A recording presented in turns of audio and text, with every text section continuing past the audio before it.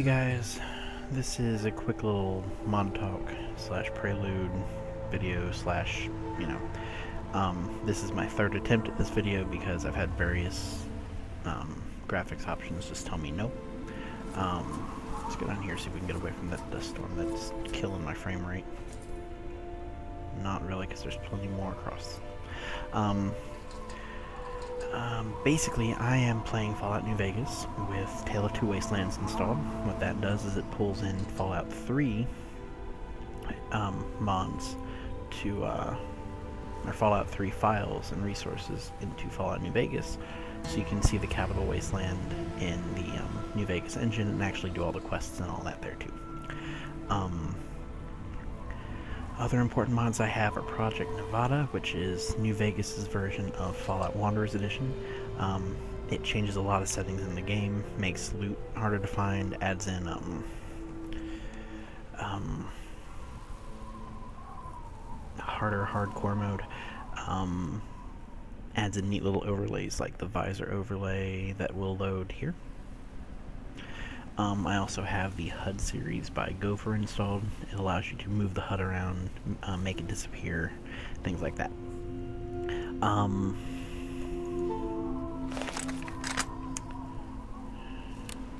I also have some pretty dramatic zoom going on.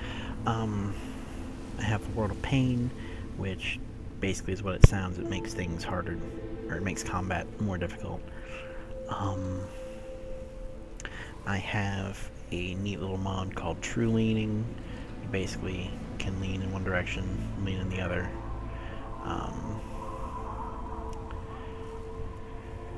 and that's about it. Um, see, I have Dynavision, which is uh, depth of field, um, also like cinematic overlays, like I can turn on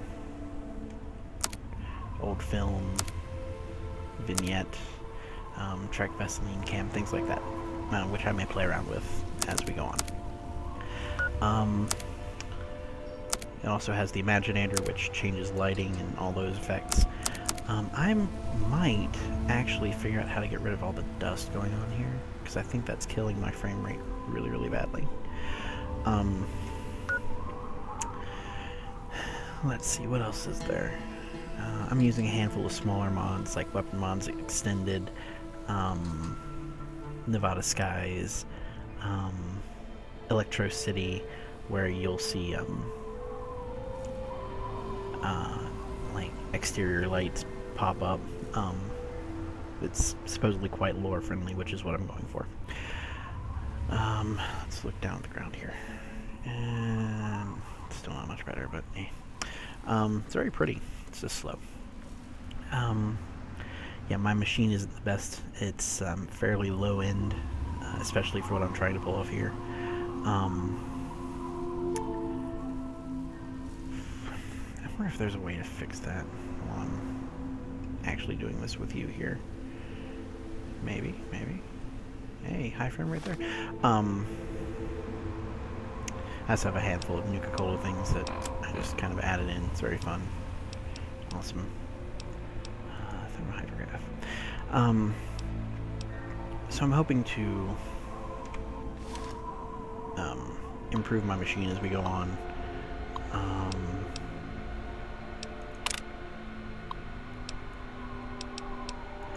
and see how that goes. Uh, I have a confession to make. I've never actually played a legit playthrough of uh, Fallout or Fallout or Fallout 3 or Fallout New Vegas. Um, I'm the kind of guy that likes to play story, and um, uh, I don't like to die a lot, so I cheat. Um,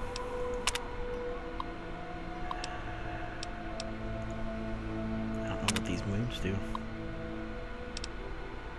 Basically. I don't know what that means. I'll mess with this later. Um, so I'm actually going to try and not, I'm not going to cheat on this playthrough. And, um, we'll see how that goes. Uh, metering weather conditions. I don't know what this means. I'll have to look into all this.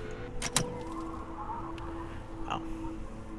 Alright, I need to figure out a way to get rid of this rid of this dust. So if anybody has any ideas, um, feel free to let me know. Um,